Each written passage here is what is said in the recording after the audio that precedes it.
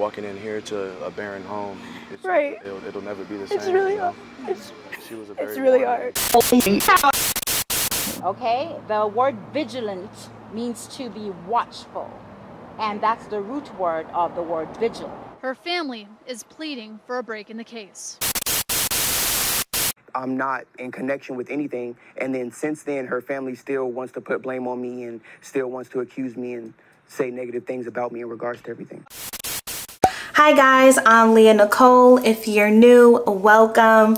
So today we have a case about a 19 year old girl from California. Now for most of us, I'm pretty sure we've been in relationships that were toxic, filled with jealousy, stress, and unhappiness. Well, unfortunately, Kiara Bergman found herself in one of those relationships, and the details surrounding her sudden death became very perplexed. This is a case of Kiara Bergman. They gon' find you, catch you sleeping. Stay woke. Kiara was a 19 year old from El Cajon, California. Her mother and stepfather, Kirsten and Chris Bragg, expressed how joyful, kind, artistic, and creative Kiara was. Her sister Brady Bragg also shared that Kiara and her were very close, and she really admired the fact that she had Kiara as an older sister to lean on. Kiara was always available to help her and others. Now, when Kiara graduated from high school, she received a grant to attend a cosmetology program.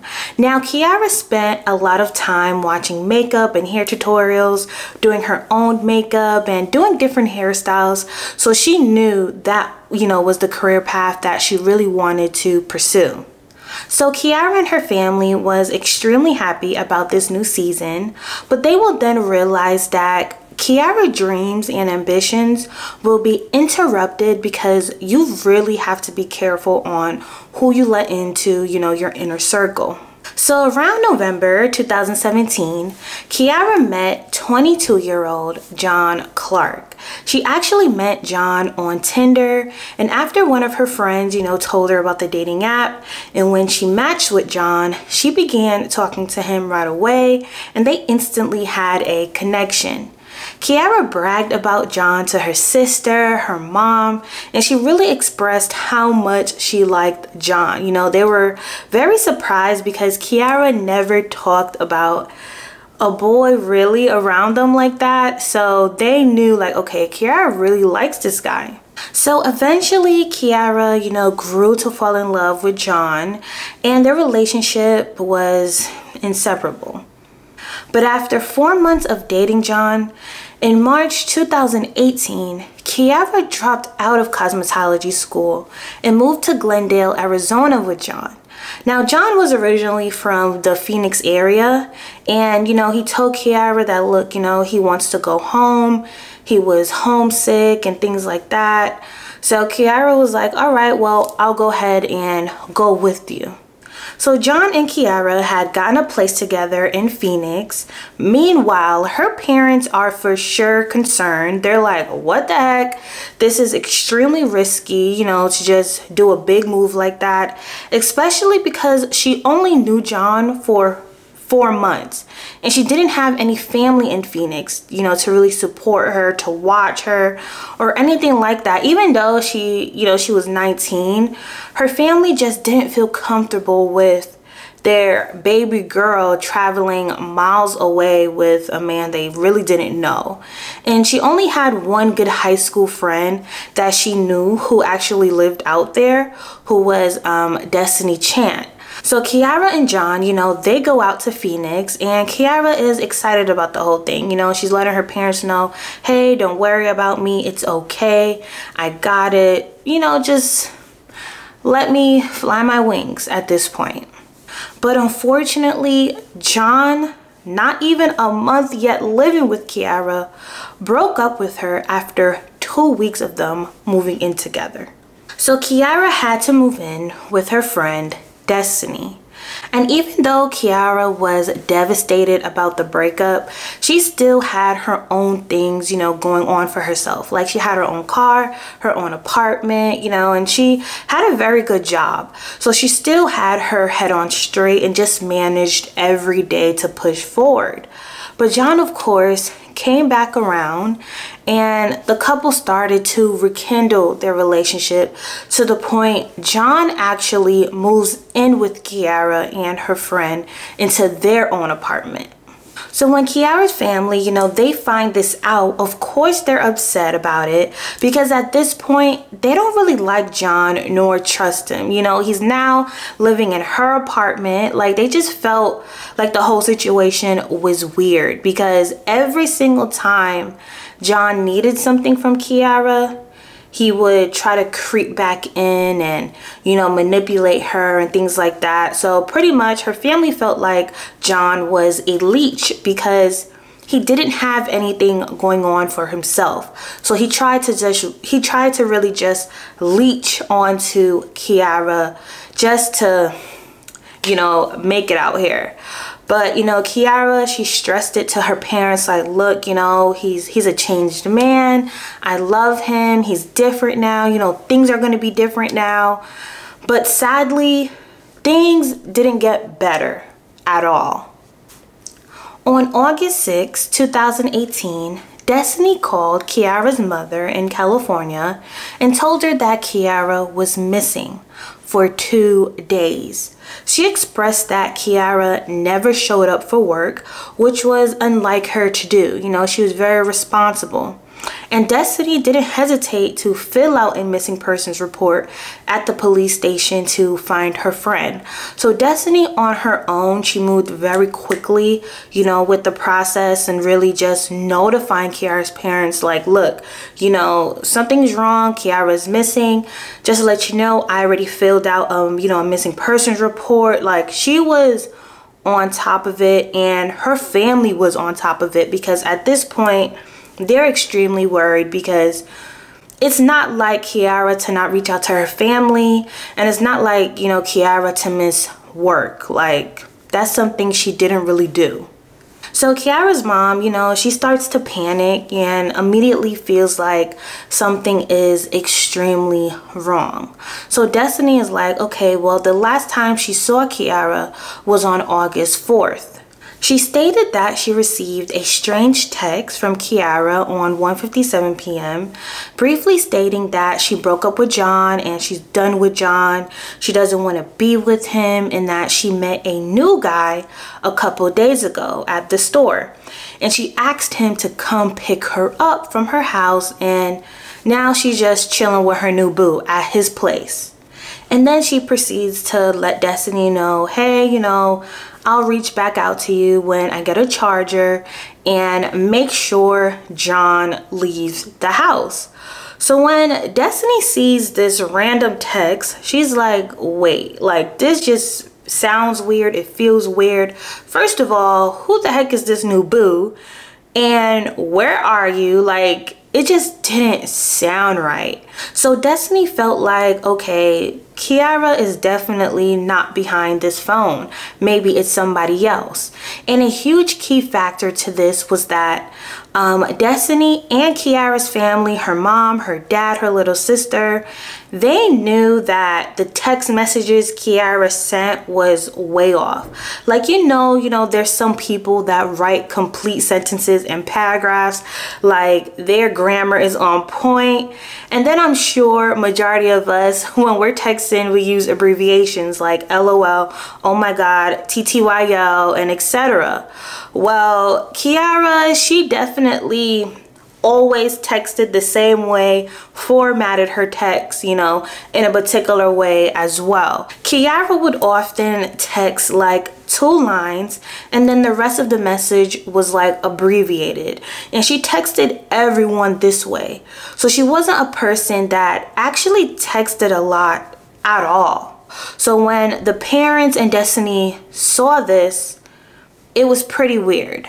So since investigators were notified about Kiara's disappearance, they felt like Kiara left her home to meet up with a guy, so she maybe purposely disappeared or ran away with this man.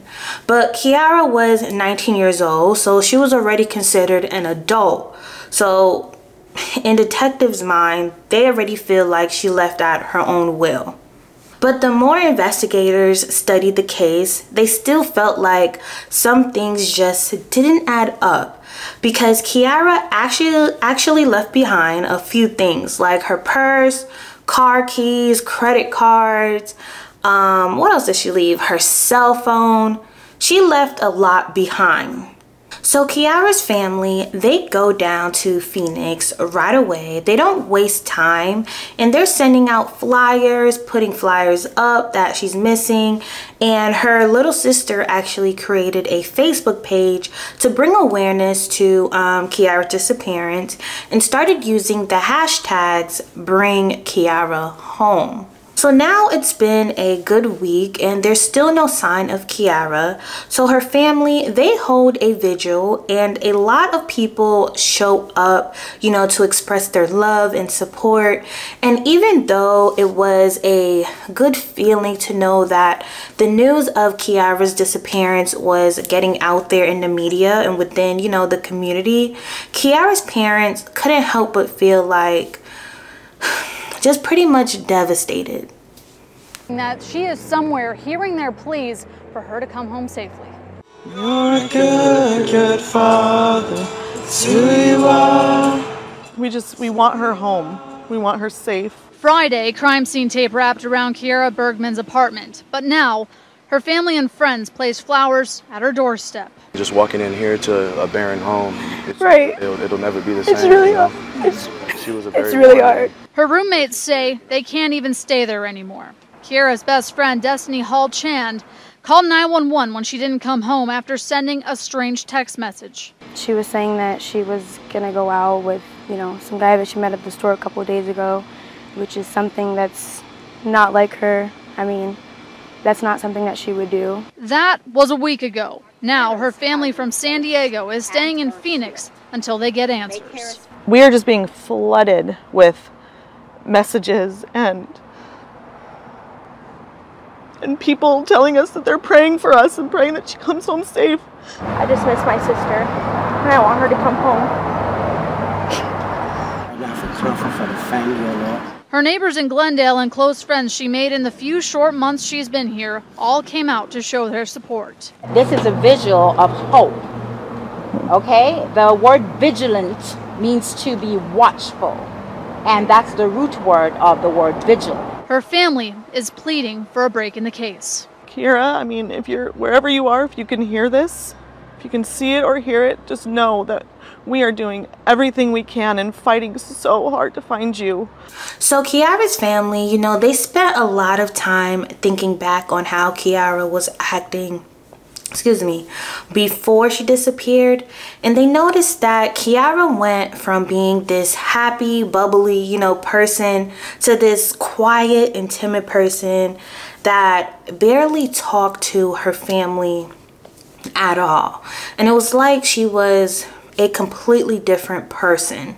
They felt like Kiara really changed the moment John Clark got involved with their daughter, and John had a lot of controlling traits and issues. Kiara's sister shared that whenever she will ask Kiara a question, John would look at her and answer for her, like nothing Kiara did was unnoticed by him.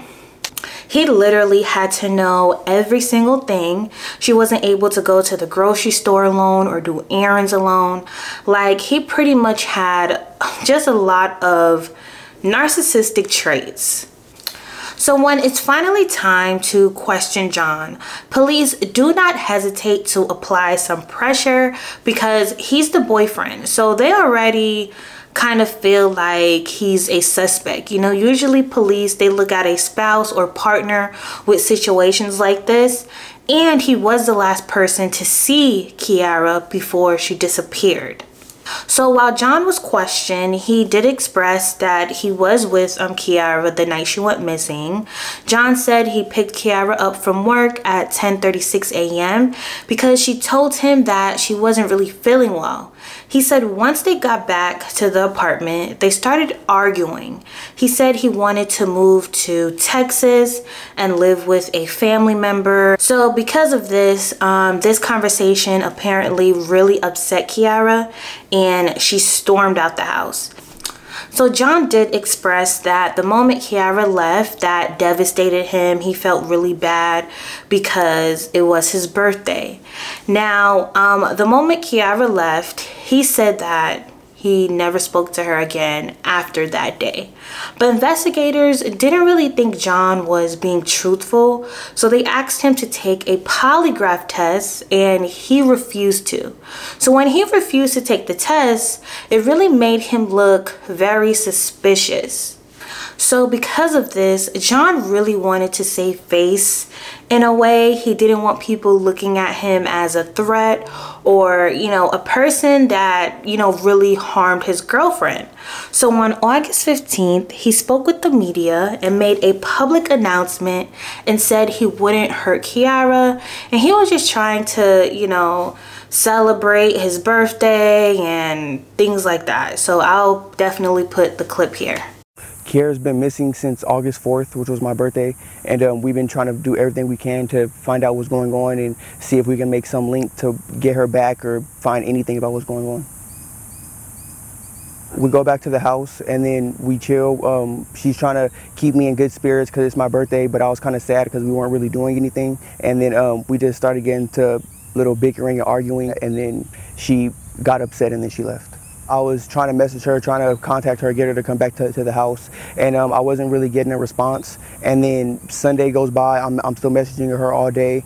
I'm messaging her friend Destiny. I'm not really getting a response from either one of them. And then on Monday morning, she had to be at work at 6.30. I started messaging both of them around 5, asking like, what's going on? Does Kiara need me to take, take her to work? Like, what's going on? And then um, Destiny told me that she still haven't heard, heard from her, that she still didn't come back to the house. So I let her know, I was like, okay, well, if she doesn't go to work, I think we should file a, like a missing persons report, call the police. I was surrounded by about 20 police officers. They told me that they had a court order to bring me down and speak with me. But from the moment that they encountered me, um, they pretty much treated me like a sus suspect. They had me in handcuffs. They put me in the back of the car. Um, they drove me down to the station. When I was in the interview room, I was handcuffed to the table and they let me go that night. I'm not in connection with anything. And then since then, her family still wants to put blame on me and still wants to accuse me and say negative things about me in regards to everything. I just feel like her family is kind of just looking for someone to blame and someone to bring them answers or someone to just bring conclusion to everything. And then since I am her boyfriend and I, I was the last one to be with her, she was, her mom mainly just really wants to blame me for everything. I had nothing to do with anything that's going on. I love Kiara with all my heart. I want her to come home. Please come home, Kiara. I love you. So after Kiara's family saw John's um, public interview, they felt like it was so fake. Like all they felt was John was saving face. All he was talking about was his birthday. Like he could not stop talking about himself. He wasn't really being honest or genuine. Meanwhile, on August 17th, police obtained a search warrant for John's car. They found 24 California driver's license that didn't belong to John, and he was arrested and was charged with 22 counts of aggravated um, identity theft and two counts of forgery. So Lord knows what John was doing or getting himself into. But after that interview, um, investigators were really looking into him now. So with everything going on, police suspect that Kiara's case was a foul play and somebody else was definitely involved with her disappearance. So on September 3rd, 2018, a cyclist found human remains that were decomposed on a isolated road in Buckeye, Arizona, 50 miles outside of Glendale. The remains were identified as Kiara, but the cause of death was undetermined. This case for sure now was labeled as a possible homicide. So when Kiara's family, you know, they find out the news, everyone is extremely devastated. Like her mom expressed in an interview that when she found when she found out all she could do is yell and cry. Her stepfather and sister they were in so much pain because somebody so beautiful and joyful and bubbly was literally taken away from you and you don't know why. So the family they didn't hesitate to really seek answers on what happened to Kiara and they already created a new hashtag for Kiara on Facebook to bring more awareness and it was now justice for Kiara. The police immediately brought John in for questioning. Meanwhile, he's still in jail for the forgery and identity theft. So it wasn't hard to get him get him in a second time for questions. So when they asked John about the area um, where Kiara's remains were found, he asked for a lawyer right away. Like he didn't even hesitate and he didn't even continue talking. Like he asked for his lawyer. He was like, look, you know, that's a wrap. This is done. I'm done talking to y'all. And when investigators asked Kiara's parents if they thought John had anything to do with Kiara's passing and disappearance, they didn't hesitate to say yes, especially since Kiara's friend and roommate, you know, Destiny, she came forward and expressed that John was actually very abusive towards Kiara. And there were many times she saw bruises on Kiara's body. Destiny and Kiara's neighbors also told um, Kiara's family and investigators that they saw John and another man carrying garbage bags out of the apartment the same day Kiara disappeared. And they were also loading bags into Kiara's car. And they made many trips back and forth. The police also looked into John and Kiara's cell phone records and discovered that on the day Destiny received that message from Kiara, Kiara's phone actually pinged from inside her apartment, meaning John or someone was the one who sent the messages to Destiny because you know, Kiara already told Destiny that she was at her, you know, supposedly other man's house. So why was she receiving text messages from inside of her apartment? And another strange thing was that John was actually on Instagram speaking to a friend about how police can use the Find My iPhone app to track down Kiara's phone. And soon after that conversation, Kiara's phone was suddenly inactive. So on September 14th, 2018, John was taken in for second degree murder for the death of Kiara. But sadly, John pleaded not guilty. And the sick part about it is that the case was actually thrown out. So this was something the family and friends did not see coming at all. Like even myself when I researched this case, I was extremely shocked about that. Like forget about him pleading not guilty, but they pretty much just threw the whole case away.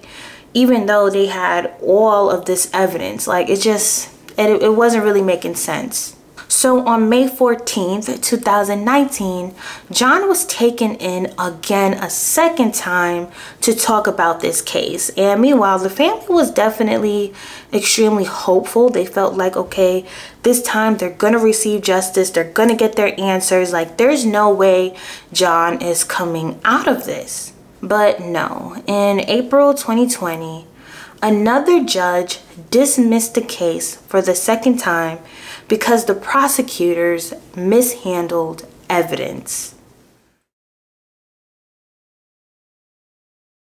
Now, as of 2022, there are current um, updates in an article, and I'm definitely going to read that right now to you guys because it took me a minute to find out if this case was currently going on or if John is just out here somewhere free and walking about.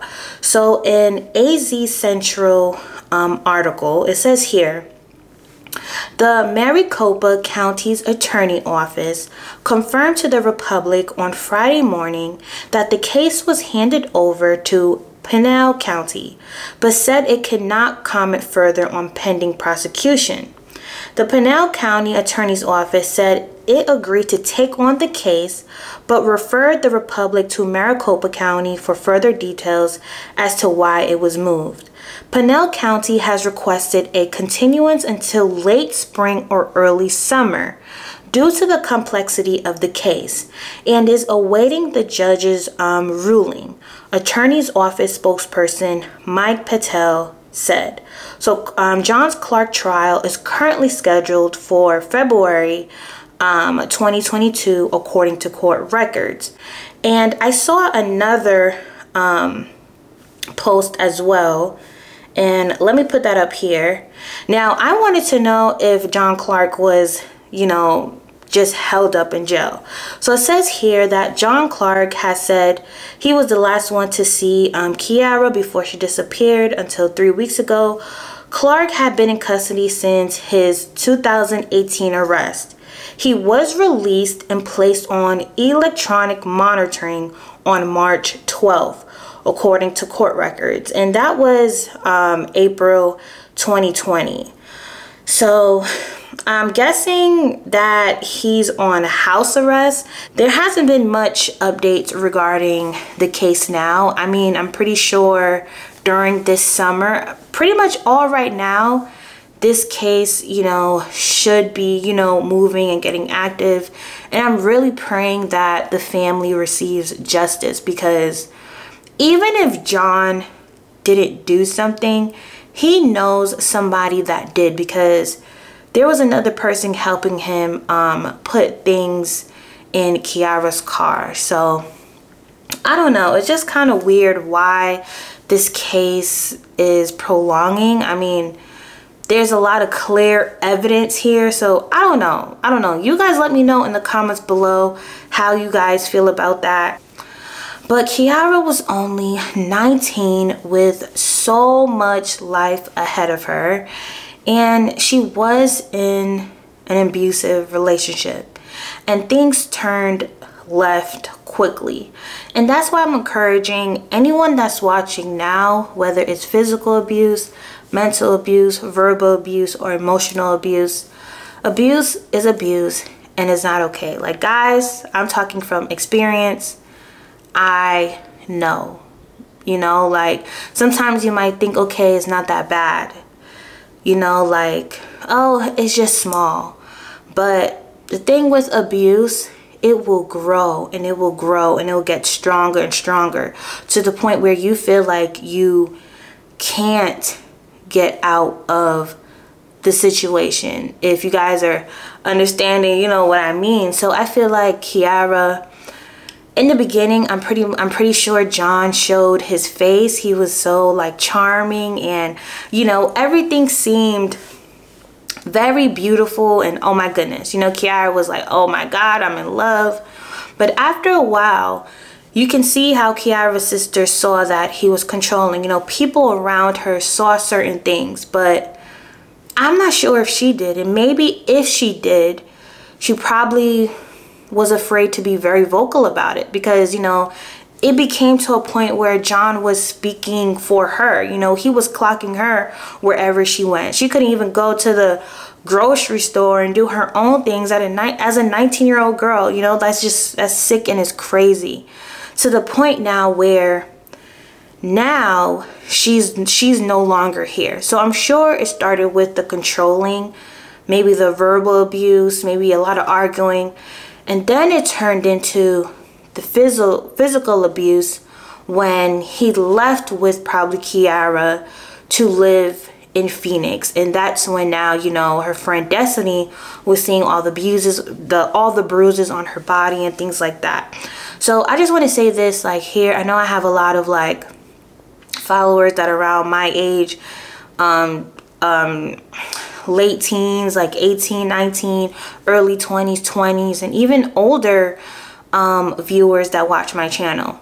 Abuse is abuse, whether it's verbal, emotional, physical, you know, financial, mentally. Like abuse is abuse and it's not okay. It's not.